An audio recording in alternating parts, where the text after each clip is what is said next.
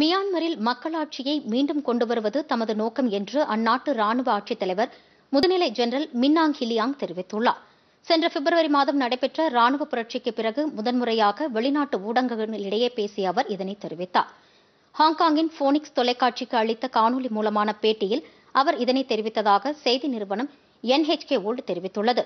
பல கட்சி ஜனநாயக அமைப்பின் அடிப்படையில் கூட்டாட்சி மாநிலங்களை உருவாக்குவதே ராணுவ ஆட்சியின் நோக்கம் என்று அவர் கூறினார். மக்களாட்சியை நோக்கிய மாற்றம் பனிரெண்டு முதல் பதினெட்டு மாத காலத்தில் சூழ்நிலைகளை கருத்தில் கொண்டு ஏற்படும் என்றும் அவர் கூறினார்.